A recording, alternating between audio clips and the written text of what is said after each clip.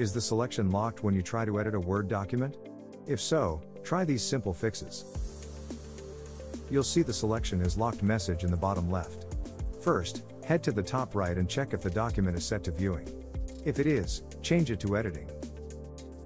If the option to edit is grayed out, that means the document is protected. To fix that, head up and click Review.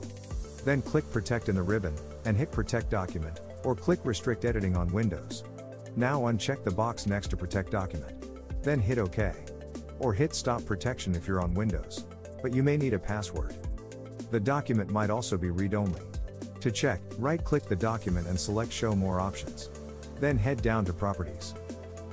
In Properties, make sure the read-only box is unchecked. For Mac users, right-click the document. Then select Get Info. Now head across and make sure the locked option is unchecked.